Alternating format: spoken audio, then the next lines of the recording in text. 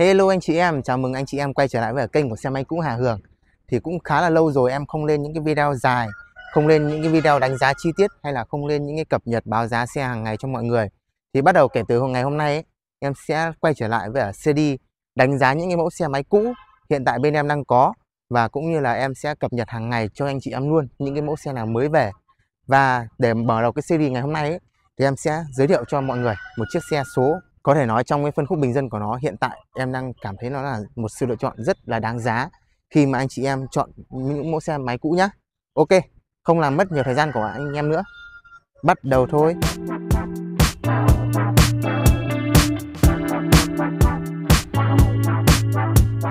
Để mà nói thì cái dòng xe mà đang đứng cạnh bên em đây thì chắc mọi người cũng không quá xa lạ gì rồi, đúng không ạ? Đây là chiếc Jupiter phiên bản RC mâm đúc phanh đĩa sản xuất là đăng ký lần đầu 2022 con xe này của em thì mới về và mới chỉ chạy có 22.000 km chuẩn thôi. Và chiếc xe này khi mà anh chị em mà đi, đi lắp mới thì em nhớ không nhầm là chúng ta sẽ phải bỏ ra số tiền khoảng từ 30 cho đến 31 triệu để lăn bánh chiếc xe này. Còn bây giờ sau 2 năm sử dụng và sau 22.000 km em nó còn lại mức giá bao nhiêu và còn lại những cái gì thì mời anh chị em cùng xem hết video này của em nhé.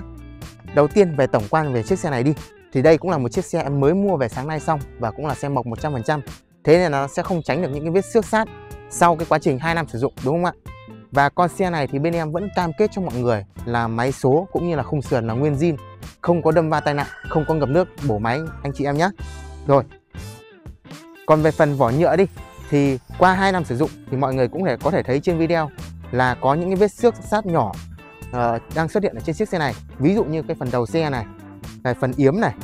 phần dè trước này và cả phần tay sách ở đằng sau nữa. Rồi và tất cả những vết xương này thì em sẽ vẫn phải thông báo hết cho mọi người luôn trong cái video này để chúng ta làm rõ ràng với nhau là một chiếc xe mộc khi mà bên em mua về như thế nào. Và sau khi anh chị em đến anh chị em nhận xe ấy, thì bên em cũng sẽ spa hết những vết xước đấy để cho nó đẹp hơn. Nhưng phải đảm bảo về khách quan về một chiếc xe ấy, thì em vẫn phải quay mộc luôn cho mọi người nhé nói về Jupiter FI ấy, thì anh chị em thích ở những điểm như nào? Thứ nhất là cái động cơ cũng như là khung sườn của nó. Thì cái khung sườn, cái động cơ của nó vẫn là 115 phân khối, giống như là cái mẫu đàn em là Sidus nhá. Nhưng mà nó đã được tinh chỉnh để cho cái động cơ nó đi êm hơn so với ở mẫu Sidus em đã trải nghiệm chiếc xe này khoảng độ tầm vài ngày rồi để cho mình đưa ra một cái review chân thật cũng như khách quan nhất. Thì em cảm thấy là cái động cơ này nó êm hơn. Nó không thể bốc như kiểu là mình đi Sidus đâu, nhưng nó sẽ đem lại sự êm ái nhá. Cái thứ hai là cái khung sườn của Jupiter nữa thì cái khung sườn của Jupiter anh chị em cũng biết rồi nhé là nó sẽ tinh chỉnh hơn và nó sẽ cho mình cái cảm giác là đầm chắc hơn khi mà chúng ta đi vào qua những cái ổ gà ổ lươn thành phố nhẹ nhẹ nhé chứ nếu mà đi vào những ổ voi ấy, thì nó cũng sẽ rất là sóc đấy ạ. Cái đấy em không cam kết được rồi. Và con xe này thì cũng là phiên bản giới hạn màu đen nhám pha với cả tem vàng cộng với cả là mâm đúc phanh đĩa nữa. Thế là nếu mà dành cho anh chị nào mà có cái cá tính mạnh một chút hoặc là dành cho cánh đàn ông chúng ta thích một cái mẫu xe bình dân mà lại là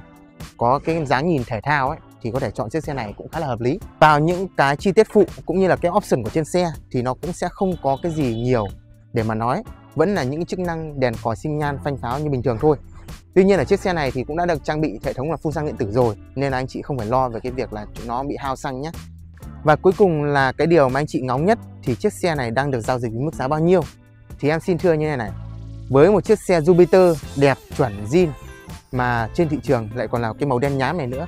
thì sau 2 năm sử dụng thì anh chị sẽ được giao dịch với mức giá khoảng tầm 18 cho đến 19 triệu, đúng không ạ? Còn hôm nay, quay trở lại với cả series này, thì em cũng sẽ đem đến một món quà nho nhỏ dành cho mọi người. Đó là với chiếc xe Jupiter phiên bản RC FI 2022 này,